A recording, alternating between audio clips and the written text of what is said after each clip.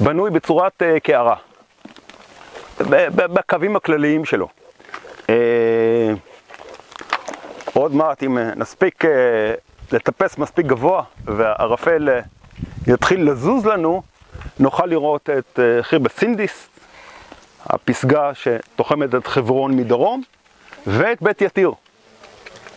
זאת אומרת, כל הר חברון יהיה לנו ב, ב, אה, במבט. אה, הר חברון הוא כמובן חלק ממה שקרוי אה, במכלול הגיאופיזי של הארץ, הקשת הלבנטינית, אותו רכס שמתחיל אי שם בסיני ונגמר באזור עיראק, במעין חצי, חצי סער ענקי, אה, ויש לו כל מיני מקטעים.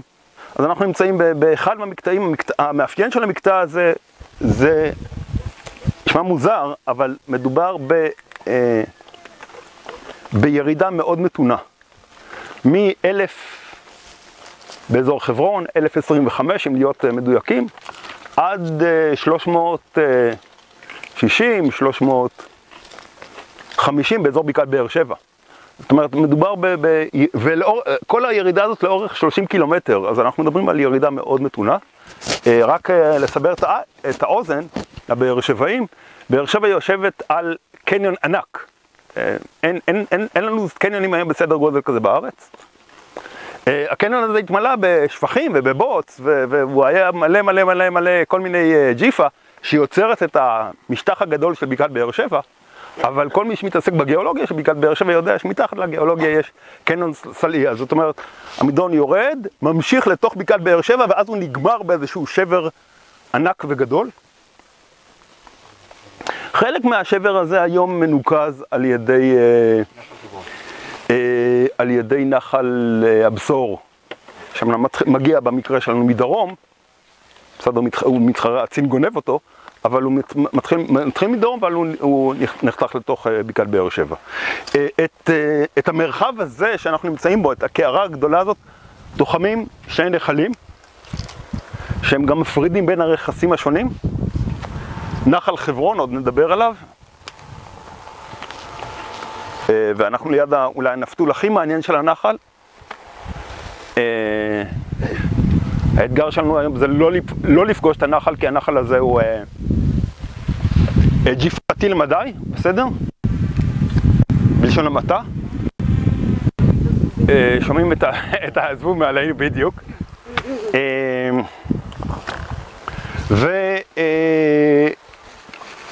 ובמזרח, אה, ואדי סמוע, ואדי עקים, שני, שני החלקים של... אה, נחל שאנחנו קוראים לה נחל אשתמוע, שנמצא בסוף, שנפגש בסופו של דבר עם נחל חברון במפגש מאוד צבעוני ויפה, בעיקר, בעיקר באביב, אה, ממש אה, צמוד ליישוב מיתר. נחל חברון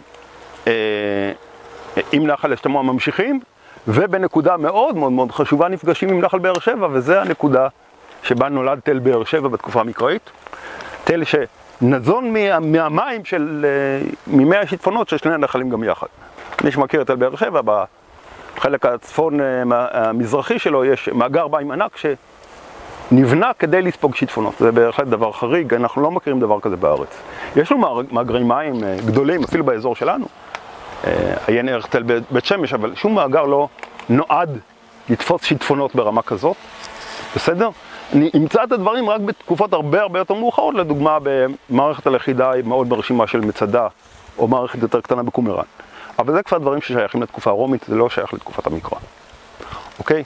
אז הפיתולים הגדולים האלה של הנחל, אה, אה, נחל סטרייק אופייני, נחל שלא מתחיל להתחתר בתוך, אה, לעשות התחתרות עמוקה בנוף, אלא הוא מקיף כל מיני תופעות אה, נוף. אנחנו נמצאים על שבר שמגיע מצפון לדרום, נפגש עם שבר שמגיע ממזרח למערב, וברגע שיש איזה שבר כזה, אז הנחל אה, פשוט זרם מאוד מאוד מאוד בעדינות לאורך השבר, ואז אנחנו מקבלים, אה, מקבלים ערוץ נחל שהוא מאוד מאוד מפותל. אה, אנחנו רגילים לקרוא לנחל חברון, בעבר היו לה שמות אחרים. עכשיו, הדבר המעניין בשמות הערביים זה שלכל קטע של נחל יש שם אחר. אז החלק הצפוני, החלק הפתוח, נקרא בערבית ואדי רחים, הנחל הנחמד, נקרא לו ככה. הוא אה, נכנס פה לפיתול גדול שנקרא ואדי אה, ואדי חמם למעשה, בכל מקום שכתוב בו, שאנחנו נתקלים בוואדי חמם, אנחנו יודעים שיש מערות. חמם בערבית, אה, בערבית זה יונים, ואם יש לנו את אה, נחל היונים, סימן שמעליו מרחפות יונים. החלק הדרומי, שכבר מתחתר לעומקים מאוד מאוד יפים, ואפשר לעמוד במצפה אשתמוע וממש לראות איך העסק הזה עובד, נקרא ואדי א-נאר, נחל האש, כי הוא החלק העמוק. דרכים. סיפור הדרכים אה, הוא מאוד מעניין, אז אה, דרך עתיקה, מאוד מפורסמת, אה, מתחילה אי שם בסוריה, עוברת על גב ההר ונגמרת בבאר שבע. בסדר? הדרך הזאת טופלה בצורה מסודרת בתקופה הרומית, היא כביש 60 הישן שפונה לכיוון אה, דהריה, היום, ה... היום אה, הדרך הזאת לא עבירה על... למרבית הישראלים. היא סגורה, היא סגורה בין. היא לא סגורה, לא, אפשר לנסוע בה. יש... אז יש, יש עקיפות. זה עקיפות, מדבר. בסדר. מבחינת הכביש יש חסימה בדרך. כן, יש חסימה ליד תנא אומרים, כן. אבל ניתן לנסוע, זה, זה הכביש המקורי. בסדר? אה, האוטובוס לירושלים לבאר שבע, נסע פעם. האוטובוס לירושלים מבאר שבע. אה, אה, עד שנות ה-70 היו לאורך הדרך הזאת שני אתרים של אבני מיל רומיות, מה שאומר לנו שהרומאים נעו עליו באופן קבוע. והסיפור של הדרך הזאת היא סיפור מיוחד, אפשר לדבר עליו הרבה. רק נזכיר ככה בשתי מילים, זה נושא להרצאה שלמה. ב-1913 מגיעים לארץ אה, שלושה חבר'ה, אה, אנשי חברת אה, סקוני, סקוני היא חברת בת של, אתם רואים אני כבר סובל מהסניליות הקבועה שלי, של חברת הנפט הגדולה ביותר בעולם, החברה של רוקפלר. סטנדרט אויל. ב-1911 פשוט סטנדרט אויל התפצלה ל-34 חברות אפילו, בגלל פסק דין מאוד מפורסם של בית המשפט העליון הבריטי, האמריקאי. ואז אה, אחד מהחברות האלה הוא סקוניז, זה חברת הנפט של ניו יורק, והיא עוסקת בחיפושי נפט מעבר לים. ומגיעים לפה שלושה חבר'ה אמריקאים, שהתפקיד שלהם לחפש נפט. הם יורדים ב-1913 לאזור ים המלח, מרימים אה, אה, אה, בחור בשם ג'יי וייל שמוביל את הכוח, מרים משקפת, מסתכל על הרכס של, אה, של קורנו ביום אה, ממשית, רואה שם אה, כתם מים עם, עם צבע שמנוני כזה מי שמכיר שמן שצף על המים, זה מין שבירה של ספקטרום על המים, אומר חבר'ה יש שם נפט, חוזר ל, אה, לירושלים, שולח מברקים ומקבל אישור לשלוח לארץ ציוד אה, בשווי של אה, אה, 250 אלף דולר. רק כדי שנבין, 250 אלף דולר של אז הם בסביבות ה-39 אה, אה, מיליון דולר של היום. בסדר? חברת הנפט אין לה שום עכבות, היא אומרת אין בעיה, אני אשלח להם דחפורים, ציוד קידוח, אה, תתחילו לחפש שם נפט. הדבר הראשון שצריך לעשות זה להגיע מחברון לקורנוב, לממשית. אז סוללים את הדרך מבאר שבע, מתחילים לסלול מחברון, עד חברון יש דרך, מחברון לכיוון באר שבע, סוללים אותה ממש בשבועות הראשונים של מלחמת העולם הראשונה, עם המון המון המון המון המון המון ציוד, וזה נסלל, נסלל במהירות עם המון המון הרפתקאות בדרך. אה, המהנדסים בחברון, המהנדסים האמריקאים מסמנים צלבים לאורך הציר שצר, שעליו צריך לסלול, וכמובן שכל העולם המוסלמי קם עליהם. אה, ממש פה באזור, ליד דהריה, אה, רואים טוב, כל כך הרבה ציוד, אז קבוצה של בדואים באה בא לשדוד אותם, אבל יש להם צבא פרטי, אז יש, מתפתח פה קרב, וכמובן שכל הבדואים מחוסלים. אה, וזה סיפור שנגמר ממש עם פרוץ המלחמה, עם פרוץ המלחמה הכביש מגיע עד לבאר שבע, ועל הכביש הזה נוסעים. אה, הדבר אולי הכי מדהים שהחברה הזאת היא החברה הראשונה שהביאה לפה משאיות. ב-1908 הגיעה המכונית הראשונה, אבל ממש בערב מלחמת העולם הראשונה מתחילים לנוע פה משאיות בכמות גדולה מאוד.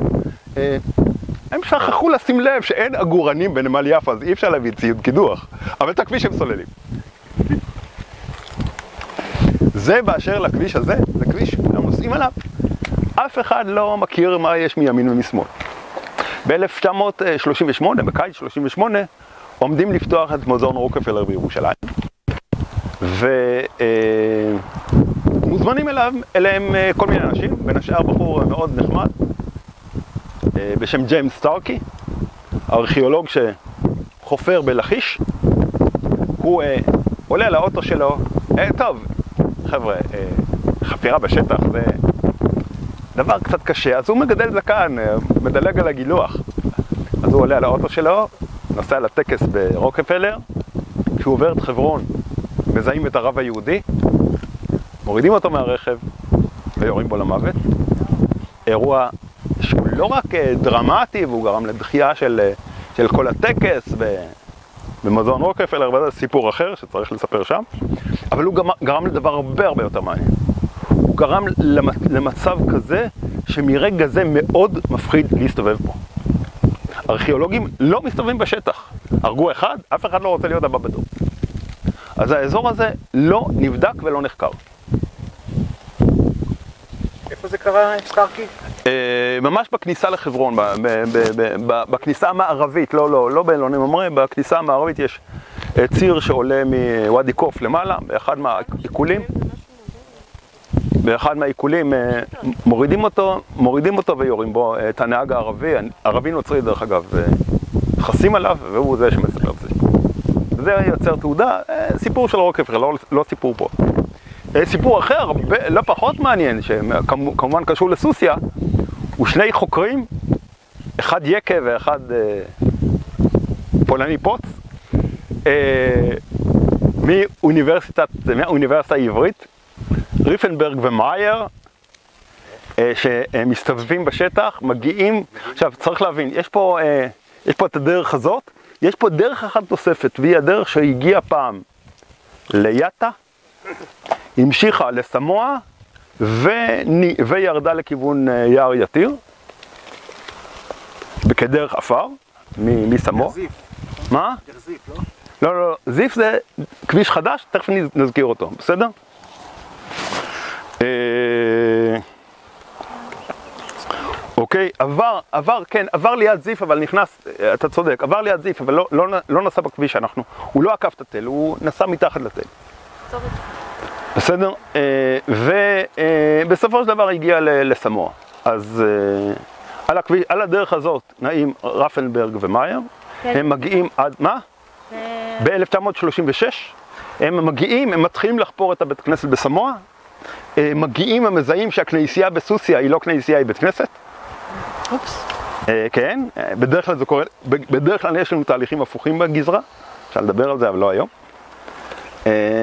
בסדר, כל מיני בתי כנסת שזוהו על ידי צבי אילן ז"ל, התגלו לנו ככנסיות מהודרות, גם בכפר עזיז וגם בחיבת עתיר, בכל מיני דברים.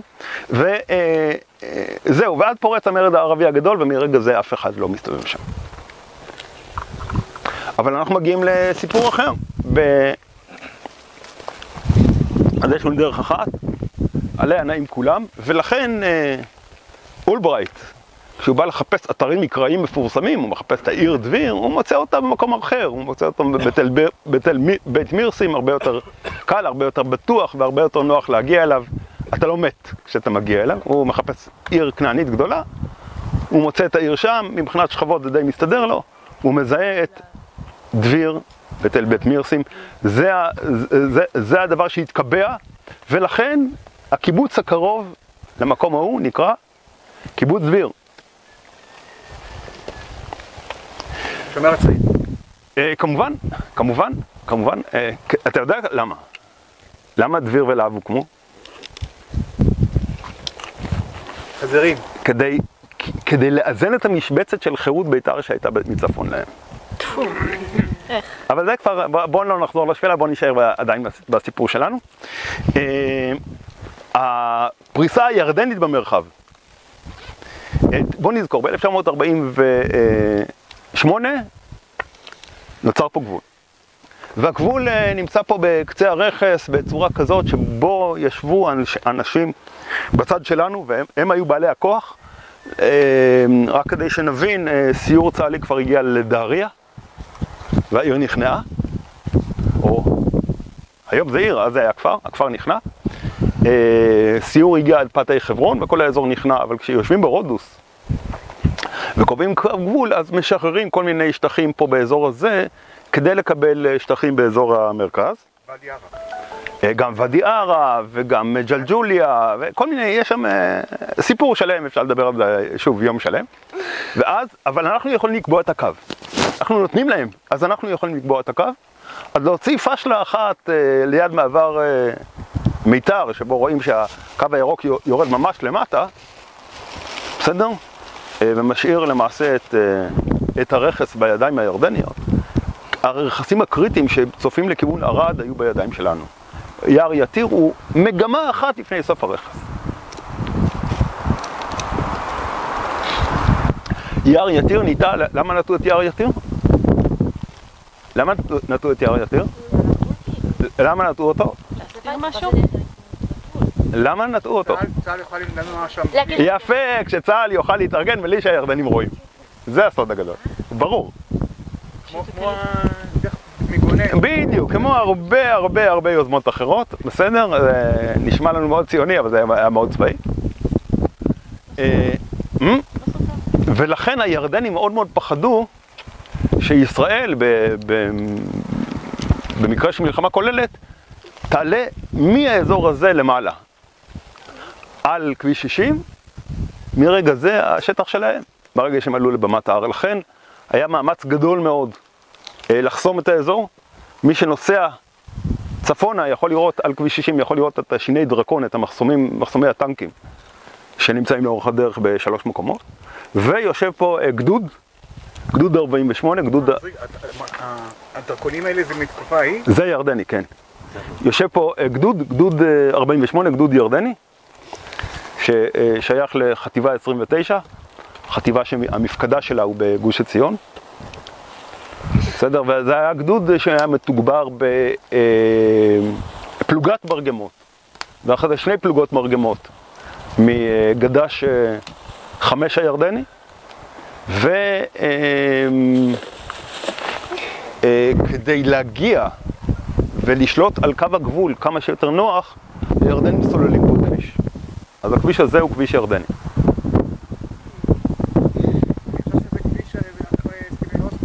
לא, לא, לא, לא, בהמשך אה, יצרו לנו את זה, אבל זה הכביש שמוביל לסמוע.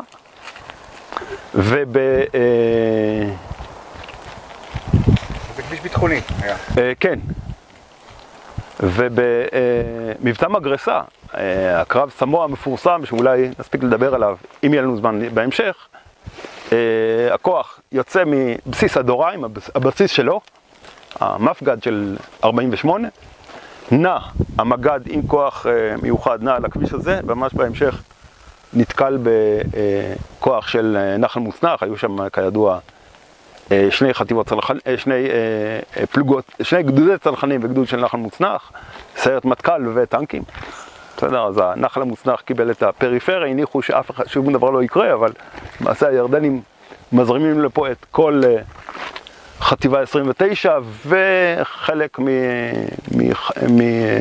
מגדוד 37 שהיה בכלל באזור ירדן, וכן, ונוצר פה קרב מאוד גדול, אה, ד- די ח- חלק מההסלמה של מלחמת ששת הימים. אז זה הכביש הירדני. הדבר המעניין, זה כביש שלא קיים היום. הוא כמעט נעלם. הוא הגיע עם הפיתול הגדול של הנחל, לקח פה צידה וקטעים בודדים אפשר לזהות, אבל זה הכביש, כביש רומי שיצא מהדרך המרכזית והגיע בסופו של דבר אה, ל... ליוטה, לא יאטה, העיר המרכזית, ועבר ליד כמה כפרים. הכפר המעניין ביותר אותנו היום הוא בית אמרה, עליו נדבר בעצירה הבאה.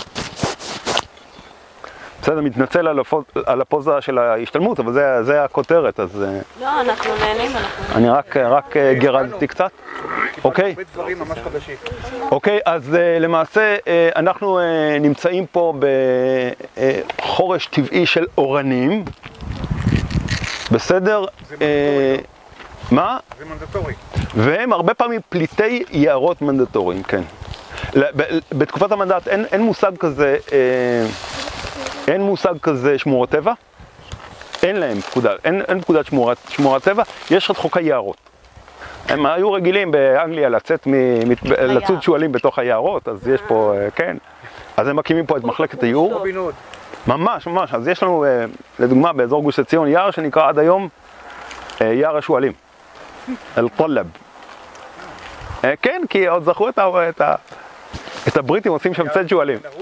לא, לא, לא, זה יער יותר צפוני. היער לכיוון אל-ערוב זה ואדי קוף, ויש שם משתלה שהיא במקום השתלה הבריטית, אבל זה כבר סיפור אחר. בסדר, ואנחנו, אה, אה, זה התחיל פה בעמדת תצפית ירדנית על הכביש, המשיך בקבר אה, של מישהו שגר פה מעלינו, אה, ואנחנו עולים לאתר עצמו. כן. אנחנו, מה, מה שאנחנו נעשה, כיוון שהרעות פה לא טובה, אנחנו נגיע בסופו של דבר לפסגה של חירבת רבוד, לא סתם יש ליד האנטנות, ושם יש באמת תצפית היקפית מדהימה. שם נעשה שף, נסתכל על הסביבה ונראה. אנחנו נסתכל עכשיו קצת לכיוון צפון, כי זה הכיוון שלא יהיה לנו אחר כך, אבל זה באמת אפשר. גם הרעות פה היא נמוכה, אני מקווה מאוד שהיא טיפה תשתפר בהמשך. אה, וכשמו כן הוא, הרבה רבידות בתל, הרבה רבדים. אה, הוא מסוג הטילים שנתעלם מן העין. ובאמת ב-1967 יש מהפך שנשכוח אותו, אבל הוא מאוד מאוד מאוד משמעותי, והוא המהפך המחקרי. בסדר? ב-1967 צה"ל מגיע לפה, אה, שלושה ימים אחרי תום המלחמה, או יומיים אחרי תום המלחמה, יש פה כבר אה, משטר צבאי. המשטר הצבאי, אה, בניגוד למה שנוטים לחשוב היום, עסק יותר בפיתוח הסביבה הערבית, ומתוך חשיבה משה דיינית מאוד, שלא הגענו כדי ללכת, מצד אחד. מצד שני, אנחנו צריכים אה, להסביר לאוכלוסייה שטוב לה. ובבת אחת האזור הזה יוצא מימי הביניים לעידן מודרני אה, מאוד מאוד מאוד דרמטי, שאפשר לדבר עליו הרבה, לא נעשה את זה עכשיו. מחברים אותו לרשת מים, לחשמל, למערך כבישים. אה, אם דיברנו על הכביש הירדני, אז הירדנים סוללים כביש, כבישים למטרה אחת. מטרה צבאית, כדי לשלוט על האוכלוסייה, כדי שהיא לא תפריע. בין השאר גם אה, להתמודד עם הישראלים, אבל אחד מהדברים החשובים ביותר זה להרגיע את האוכלוסייה שנחשבה לאוכלוסייה מיוחד. אוכלוסיית הר חברון תמיד נחשבה לאוכלוסייה עוינת, בטח באזור יטא. בסדר? אה, יטאווי, עכשיו לכינוי לאדם אה, עם ראס חג'ר, ראש, ראש, ראש, ראש, אז ראס חג'ר וראס יטאווי זה כינויים מקבילים, והירדנים מאוד פחדו מהם, ולכן מיד אחרי מבצע מגרסה הם מורידים לפה גדוד כמינוס, זאת אומרת שני פלוגות, יושבת לה חוק מרפי אומר שברגע שאני מתחיל לדבר זה מצלצל, אבל בסדר. הפעם זה היה קצת יותר מאוחר. נרגע, זה בסדר. אה, ולמעשה בפעם הראשונה אה, מגיעים ומתחילים להסתובב בשטח. אה, עושים פה דבר מאוד חשוב, מאוד דרמטי, והוא אה, נקרא סקר 68. ב-1967-68 יוצרים חמישה, חמש אה, חוליות סקר אה, שנתמכות על ידי האוניברסיטה העברית, על ידי אוניברסיטת תל אביב ועל ידי רשות העתיקות. ויוצאים לעשות מה שנקרא סקר חירום, להסתובב מהר מאוד בשטח, מבינים שהשטח הזה עד עכשיו היה בתרדמה, הוא הולך לקבל עכשיו בום של פיתוח, ורצים מהר מהר עם אה, חבורה של ג'יפים, וסוקרים את האזורים השונים ומפרסמים אה, כרך מאוד חשוב, כרך אה, סקר 68 של יהודה ושומרון.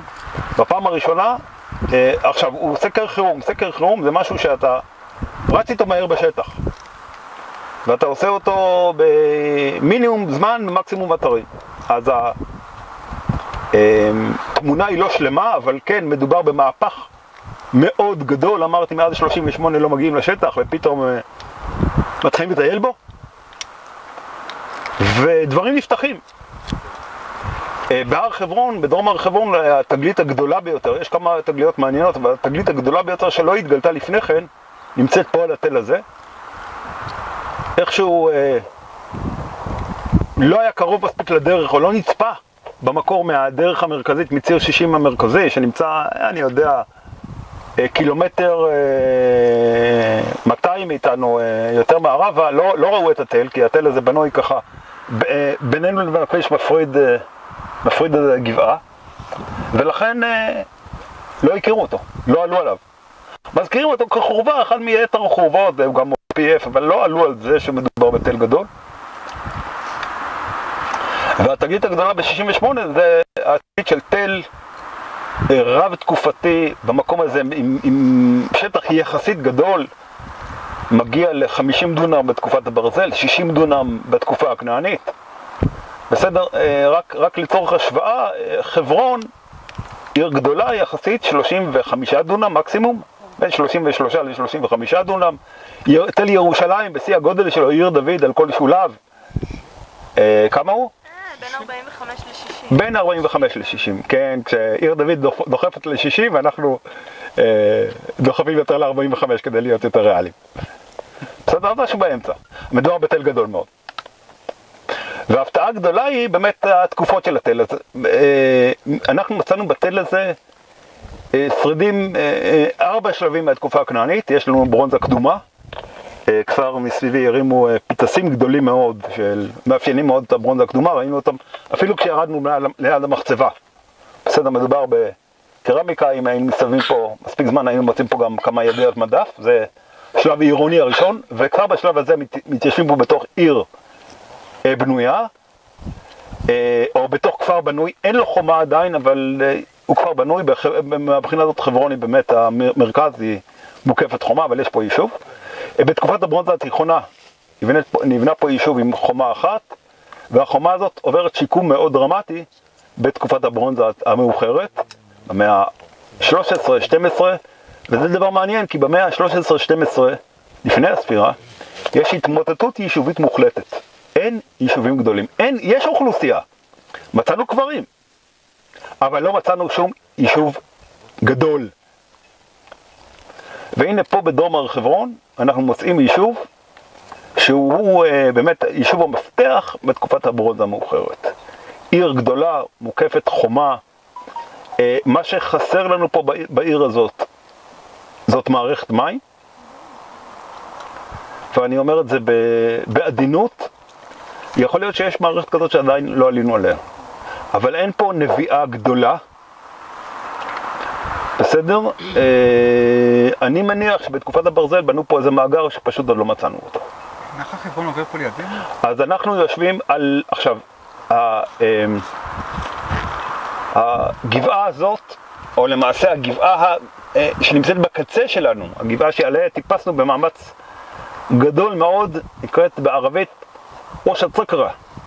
דהיינו, הקן של נץ. צקר זה נץ בערבית, עוש זה כן. בסדר, הקן של הנץ, ואם אה, ראיתם שזה קשה לטפס, אז באמת זה איזושהי תחושה של קן של נץ שם למעלה. אה, הגבעה ההיא, אין עליה יישוב, היישוב היה בגבעה הזאת, בין השאר בגלל האפשרות לתצפת לכל הכיוונים. כשאתה נמצא שם על, הרכס ההוא, משהו מסתיר לך, אבל כשאתה נמצא פה על הגבעה למעלה, אתה באמת שולט על כל האזור. אה, מסביבנו יש נפתול מאוד מאוד מאוד גדול של נחל חברון, שממשיך פה בגב שלי. מכאן ודרומה הוא נקרא אה, ואדי א-נאר, נחל האש. אה, ולמרות שוואדי א-נאר בדרך כלל אה, הוא כינוי לנחל צפוף ומתפתל, אה, יש לו פשט מאוד רחב, יש לו שוליים מאוד רחבים שאפשרו אה, חקלאות. בסדר? אה, נחל אה, ואדי א-נאר אחר, מישהו יודע מהו? הירקון בחלק העליון שלו קרוי ואדי א-נאר, כי יש לו חלקים, למעשה נחל שילה. יש לו חלקים מתפתלים וככה זה, זה כינוי. עכשיו זה, זה נובע מהדמיון המזרחי גם של נחל שהוא מאוד קשה, אבל גם נחל שיוצר מעין ציורים כאלה, כשאתה מצייר אותם זה נראה כמו להבות, מעין אה, חנוכיה.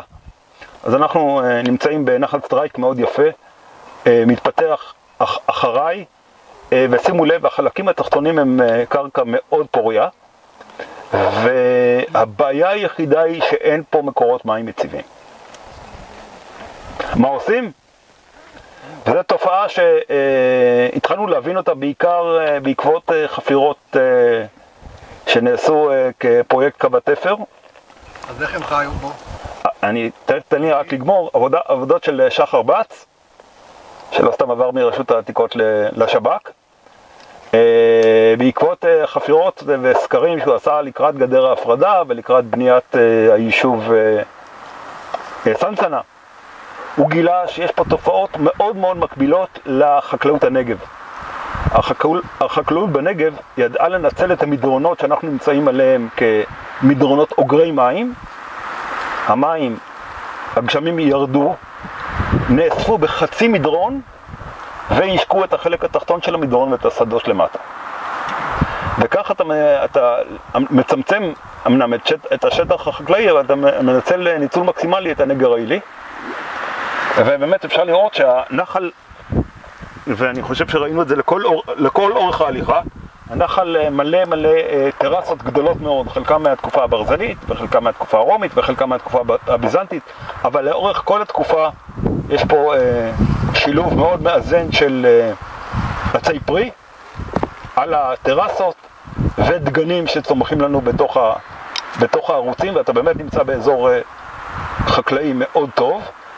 זה שאנחנו נמצאים בנגב, בסדר, מקו יטה ודרומה מדובר באזור נגב, משטר הגשמים פה יורד בצורה מאוד דרמטית, למרות שזה יותר בולט בצד המזרחי מאשר בצד המרכזי והמערבי, אבל אנחנו מקבלים פה הרבה הרבה הרבה פחות מים. זה ממש יורד במהירות, ואם האזור הזה לא מטופל כמו שצריך, אז אנחנו מגיעים באמת לסיפור של כלב, ובאמת הסיפור המקראי מתעד את העובדה שכשבני ישראל מתקרבים לפה, הם מקבלים מרחב שיש לו עיר בירה, שמצליחים להשתלט על העיר חברון, אבל יש רק בעיה אחת, מסתבר שיש לה עוד בירה, בירה דרומית. והבירה הדרומית הזאת הייתה בירה מספיק מלכדת, שהיא תהיה אה, אה, אבן נגף לכל מי שרוצה לשלוט על הר חברון. ולכן אה, כלב מציע את ביתו, אקט מאוד מקובל בתקופה העתיקה, ואני כרגע לא, לא נכנס ל... פרעה. כן, כן, בדרך כלל זה אקט פוליטי. אתה יוצר חש... חסות על ידי הדבר כזה. אז דרך אגב, כשאתה נותן בת למישהו, זה לא, זה, בתקופה העתיקה זה לא חייב להיות אשתו היחידה. בסדר, הוא לא חייב להתחתן איתה בנסיבות רומנטיות. הוא מוסיף אותה לעוד חלק בארמון, כשמדברים על אלף נשים לשלמה, אז זה, זה לא בגלל שהוא חובב נשים, אלא בגלל שהוא אימפרטור, רוצה, רוצים להציג אותו כאימפרטור, אז הוא ריטת ברית בדרך כלל זה על ידי נישואין של, נישואין של מישהי, ואתה יכול להתחתן עם עשרות נשים, בסדר? אלכסנדר הגדול, מורנו ורבינו, אה, לקח אה, קבוצה שלמה של נשים אה, מקומיות והתחתן איתם, אה, והוא בכלל לא כל כך אהב נשים. אבל זה אקט פוליטי מובהק, בסדר? והוא אומר, טוב, מי שרוצה לרשת אותי, זאת אומרת, לבת שלי, נא לתפוס את, דביר, ובאמת אה, אה, הוא כובש את המקום הזה, ונותן את המקום הזה כשי לביתו, לשילוחיה, ואז היא באה אליו ואומרת לו, הנה אבא, נתן לך לו ארץ נגב. הנגב, באמת, שבאמת בתקופת הברונזה המאוחרת, יש פה עיר, והעיר הזאת בעיקר עסקה במסחר, אבל למעשה המערך החקלאי סביב- סביבנו, שהתפתח מאוד יפה בתקופת הברזל, אם היא הייתה מגיעה לפה באמצע, ב- ב- במאה השביעית, שמינית, היא לא הייתה רואה פה ארץ נגב, הכל היה ירוק. אבל אז עוד לא היה תשתית כזאת. אז אתה נמצא בנגב, ואין לך מקור מים, ולכן אה, אה, נותנים, נותנים, אה, אה, נותנים ל... אה, לשני מקורות מים, את גולות עילית ואת גולות תחתית. מה? שאלה טובה, שאלה באמת טובה, בקיץ כנראה זה יבש מאוד. בחורף זה נהדר, בחורף אתה יוצר פה סכר קטן ויש לך זרימת מים נהדרת, היום אנחנו בעיקר אה, גונבים מים מהנחל, אבל פעם הוא באמת אה, זרם בעיקר בחלקים העליונים שלו. אה, אבל אחד מהדברים הבולטים, כמו יש לנו שני אה, בקעות פה, אה, בקעת קרה זה פה לידינו, ובקעת הדוריים צפונית לנו, אני יודע, ארבע וחצי, ארבע, כמעט חמש קילומטר צפונית לנו, בבקעת הדוריים יש 350 נביעות. כל הבקעה מלאה, מלאה, מלאה מים. גם היום. מטורף. באין סוף בריכות קלות שם. כן, מדהים, אפשר לעשות שם, כן, אפשר לעבור מבריכה לבריכה. ואתה... אה, לא, בריכות קטנות, גם ליד הכביש, אם תצאי צפונה תראי מימין ומשמאל לכביש בריכות קטנות. ליד מתקן אימונים. כן, כן, ממש. ליד, הבסיס הירדני. אה, והמון, המון. אין סוף מים, אפשר לעשות שם סיור, אה, עשינו שם סיור רק בנושא מים.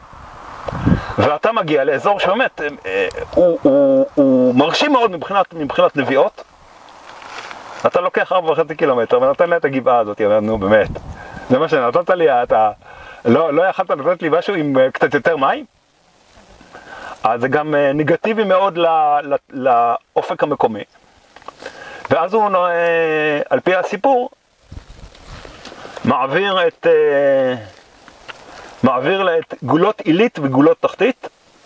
אנחנו מזהים אותם היום אולי כביר עלקה אל פוקה ואל תחתא, שנמצאים במרחק של אה, שני קילומטר מאיתנו. מה? אה, ביר עלקה בערבית זה בור העלוקות. בסדר, עכשיו רק אה, כדאי לזכור שבערבית אין הבדל בין בור לבאר, שניהם נקראים ביר. רק כשהתחילו בארות עם משאבות התחילו לקרוא להם ביארות.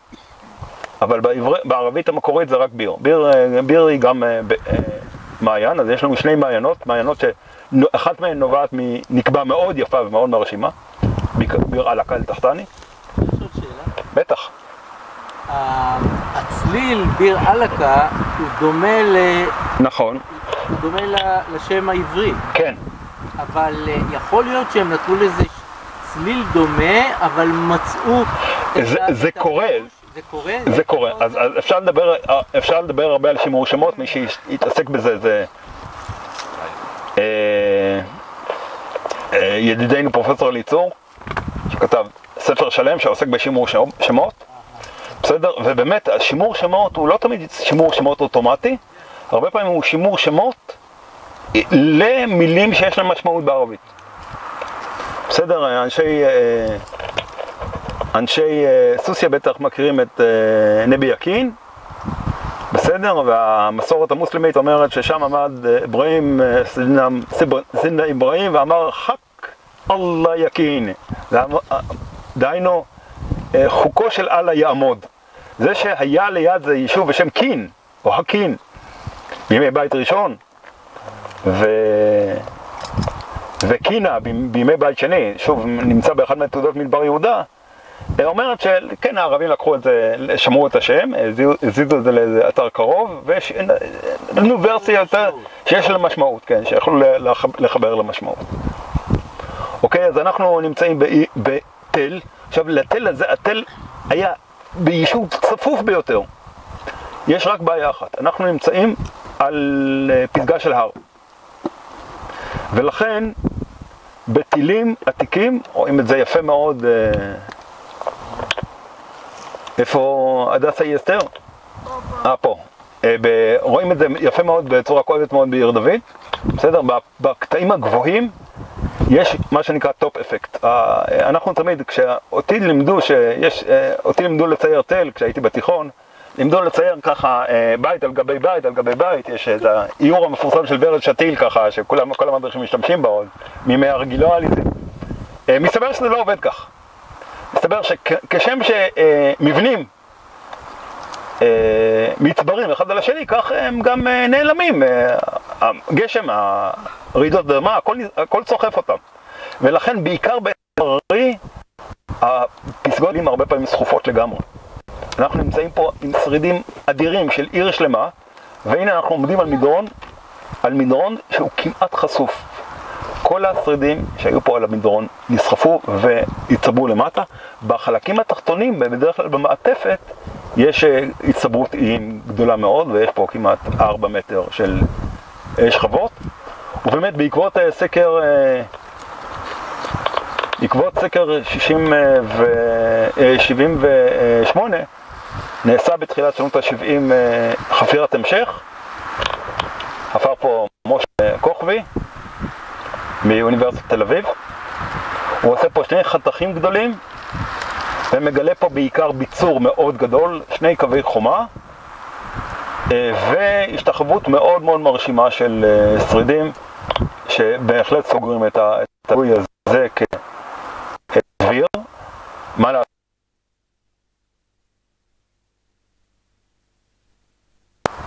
זורקים אותו לזבל, אבל יש בעיה. יש שם כבר קיבוץ, קיבוץ דביר. אז החליפו את זה לדבירה. אז ועדת השמות הממלכתית מתכנסת ועכשיו, אה, אנשי עתניאל בהתחלה ביקשו לקרוא ליישוב שלהם דביר. אמרו להם לא, זה כבר תפוס.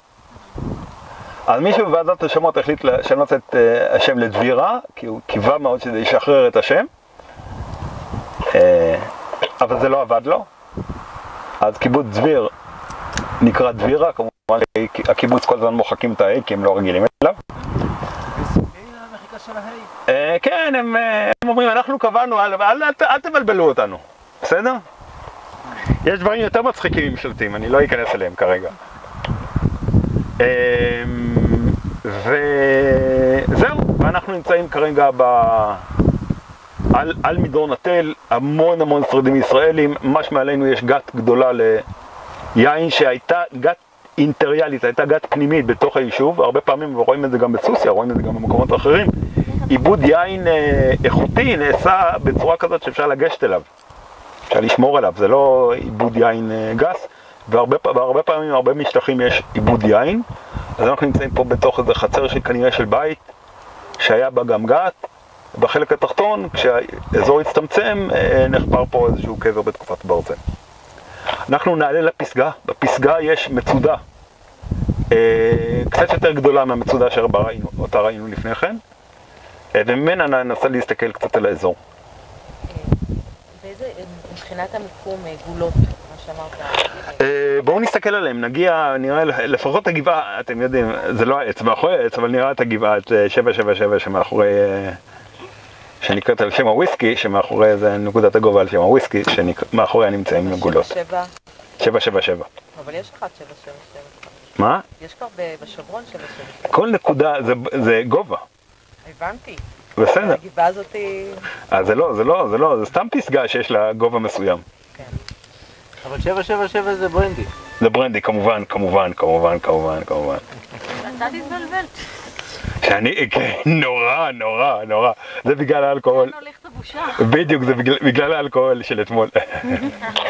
אז אנחנו נעלה למעלה, נעשה סיבוב, ואז נרד לכיוון הכניסה. עכשיו, לעיר הירושה שער אחד בכף, שנמצא פה, ושער אחד נמצא פה למטה.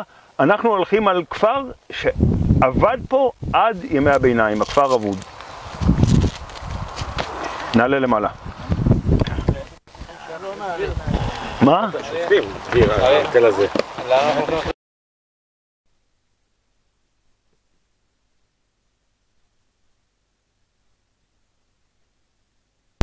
שני, אה, שני כפרים בסדר גודל גדול למטה, אוקיי? ובאמת המקום הזה ניטש כי אה, אין פה תשתיות של חשמל ו, אה, ומים. התשתיות האלה שאנחנו רואים אותן היום נולדו בשנות ה-80 ובעיקר אחרי הופעת הרשות.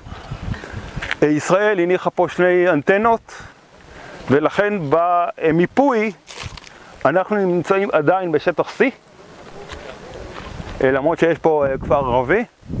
אז הם אומרים שאפשר לבוא לפה, להקים אה, הוא- מבצע. לא, לא, לא, הוא, אה, לדעתי, לדעתי הוא ניטש בתאריך הרבה יותר מוקדם. הוא, הכפר ניטש לגמרי, חוץ משתי בתים פה למעלה על הרכס, הכפר היה נטוש ב-1927. בסדר? הכפר ניטש לגמרי סופית ב-1927. הנה, פה אני יכולה לגור. 1927 יש רעידת אדמה מאוד גדולה. כן, כן, כן. בשמהני את רוצה לגור פה?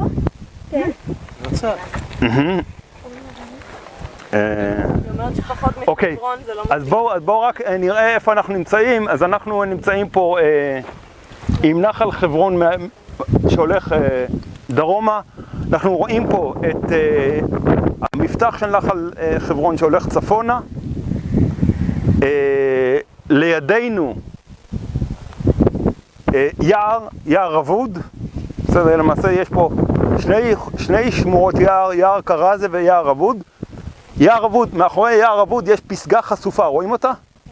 פסגה לבנה, זה נ"ג 777, מתחת לנ"ג הזה יש את אה, שתי, שתי, אה, למעשה יש פה אה, ערוץ, יש פה כביש בתוך הערוץ, על ה...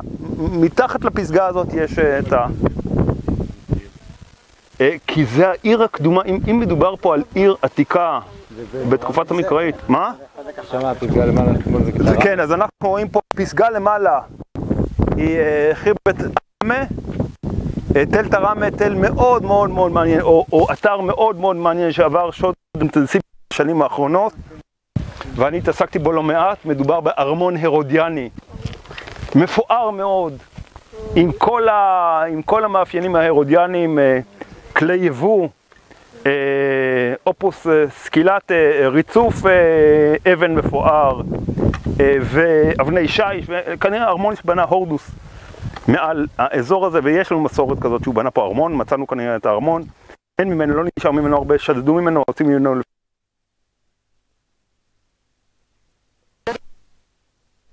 זה באופק, כן. אל תראמה.